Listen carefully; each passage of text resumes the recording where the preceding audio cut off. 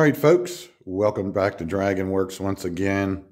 Back on the 1969 Honda CT90, also known as the Trail 90.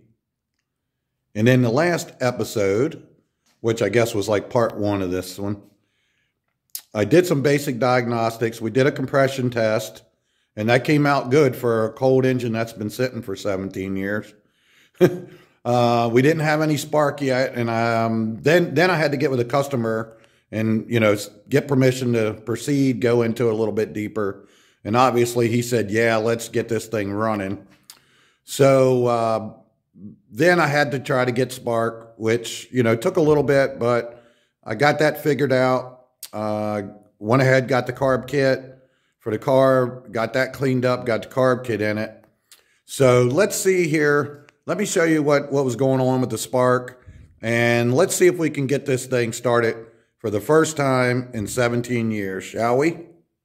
Now, the customer said years ago when he tried to get it started, you know, he didn't, he couldn't get any spark and then that's pretty much where he stopped. Oh, hold on. Let me turn off some of the lights. All right, that's a little better. I just want to show you, uh, he is correct. Keys on. And then, let's see if I can do this without shaking it too much. It's hard to do that, isn't it?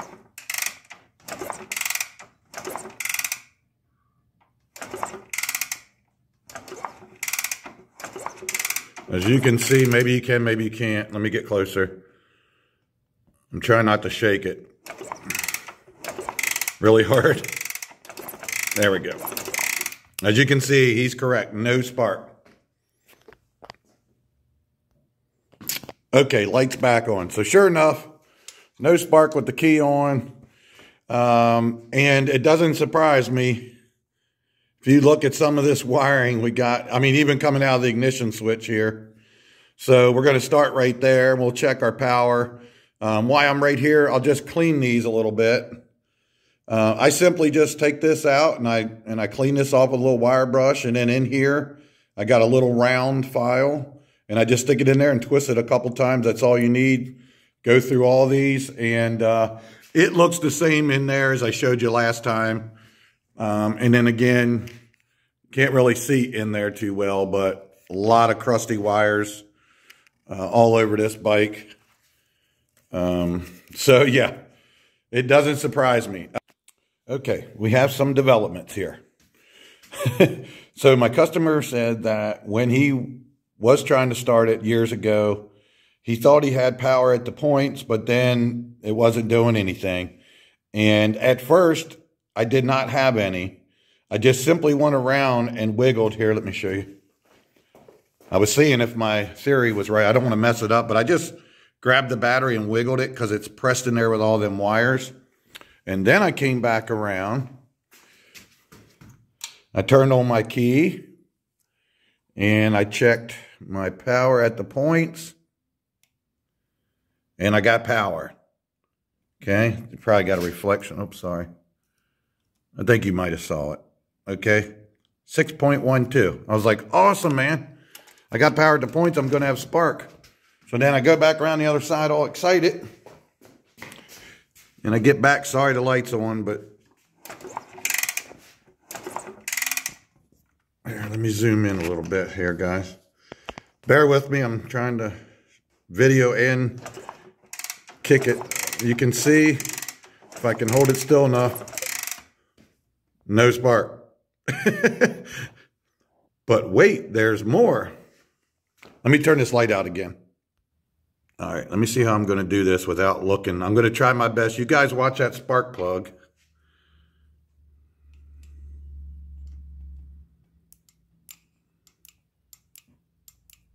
Did you see it? Hold on.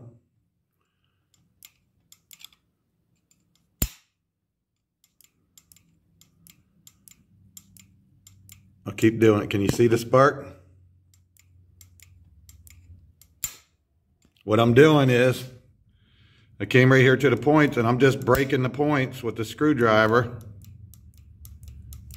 Okay, and that's what causes the spark.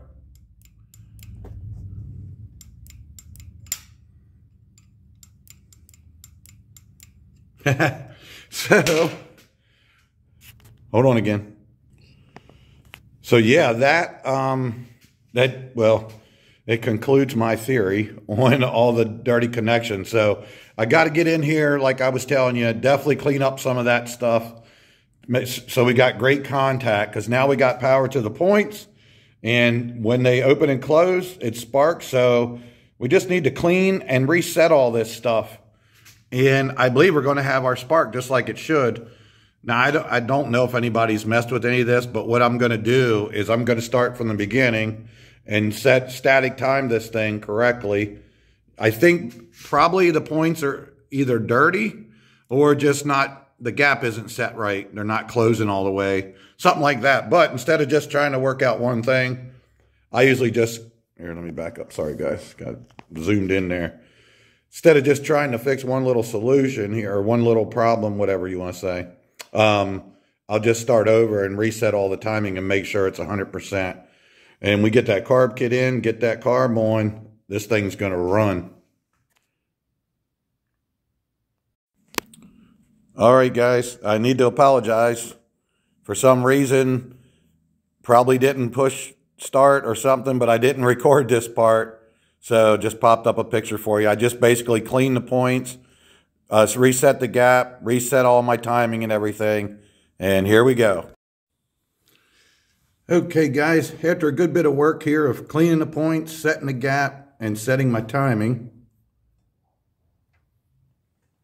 try not to blur it.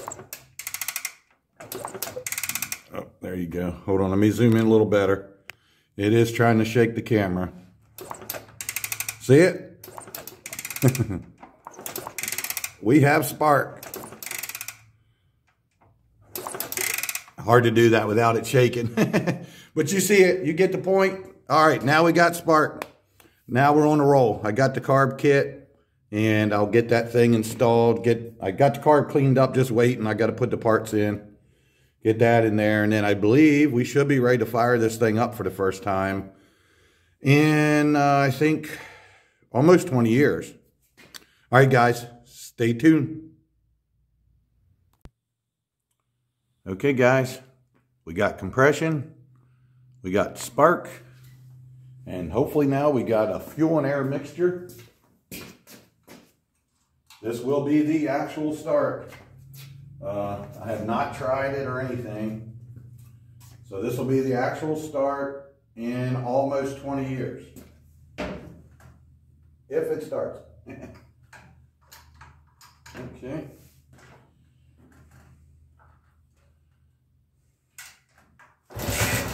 Oh, oh, my goodness. It almost fired the first kick. Look at that. I don't have the throttle adjusted yet. I got to find out where that's at.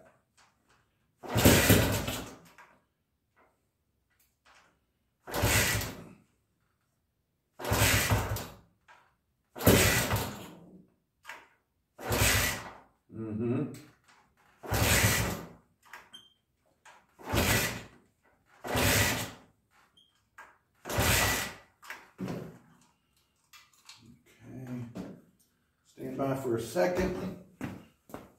Uh, since this carburetor has two, it's got two fuel inlets, I've got to make sure, okay, so that's what happened there. I just got it hooked up to the reserve one right now. I hope that's working. Getting the fuel in there. Oh yeah. Okay, looks like it's getting fuel. Um, yeah, I'm gonna try it without some choke here, guys. I think I might have flooded it already. I had it full choke. Let's go half choke and a little bit more throttle. Yeah, let's go without the choke for a second.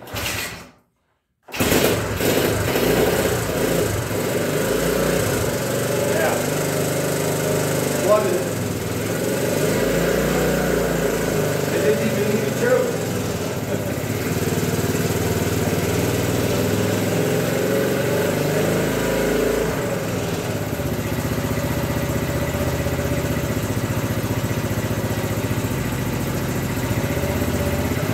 Look at that.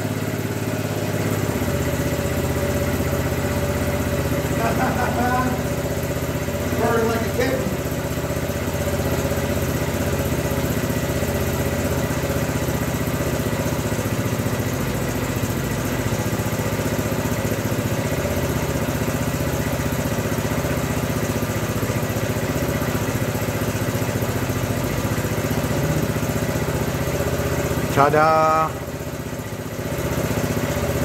Man, that thing sounds good.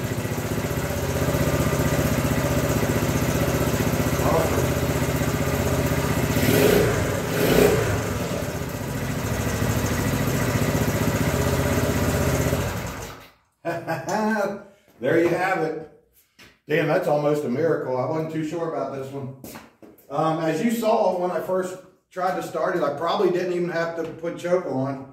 Um, I had full choke and I basically flooded it. You saw that. So yeah, I probably could have just kicked it. Okay guys, let's try uh, so you saw the startup. Uh, I screwed it up. I probably didn't even have to choke it. Who would have thought it, right? But uh, let's try startup again. No choke. Turn it on. It's still cold. I never got it warm or anything. But let's try this, see what it does.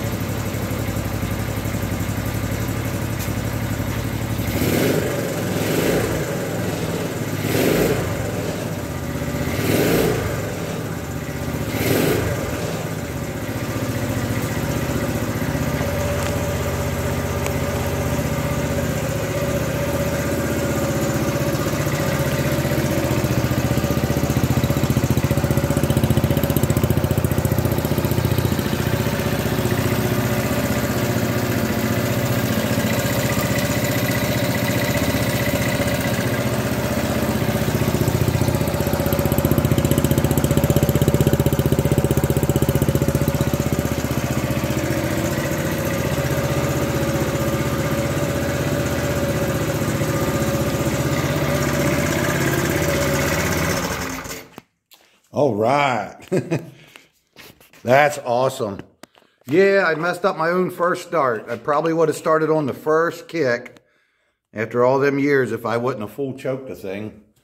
But like I said, who would have thunk it, huh? oh, let's do another. It's running great, man. Whoop. Look at that. Awesome.